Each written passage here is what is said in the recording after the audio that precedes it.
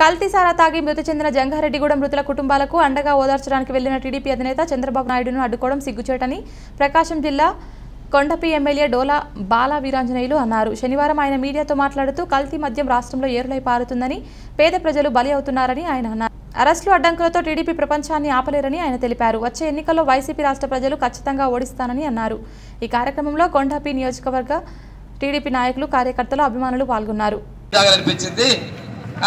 కానీ మాకేదో కడుపు నొప్పులు వస్తా ఉన్నాయి డాక్టర్ దగ్గర పోతే మందు తాగొద్దని చెప్పాడు అంటారు ఈ రోజు జంగారెడ్డి గూడెంలో కల్తీ సారా తాగి పాతిక మంది చనిపోయారు.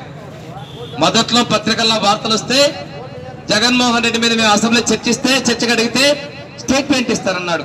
స్టేట్మెంట్ కాదండి అంటే మేము చర్చ పట్టుబట్టాం. రిటర్న్గా ఇవ్వమంటే ఇవ్వకుండా నోటి మాటలతో సరిపెట్టాడు. ఇంకో విషయం తెలుసా? సారాతో చనిపోతే అక్కడికి ఏ మంత్రి పోవాలి? పరామర్శకి ఏ మంత్రి పోవాలి? ఎక్సైజ్ మంత్రి సారా మంత్రి పోవాలి. కానీ ప్రజల తప్పుదో పట్టించడం కోసం వైద్య ఆరోగ్య శాఖ మంత్రి పంపించేది జబ్బు అన్నట్టుగా. జబ్బు ఎందుకు వచ్చి చచ్చిపోయారు? కల్తీ సారా తాగి విరోచ వాంతులు అయిపోయి కళ్ళ చూపుపోయి లివర్ ద- నొప్పి వచ్చి ప్యాంక్రియాటైటిస్ వచ్చి చనిపోయారు. చంద్రబాబు నాయుడు గారు అక్కడికి వెళ్ళారు. పరామర్శ చేస్తే ఈ పరామర్శకు వచ్చే వాళ్ళని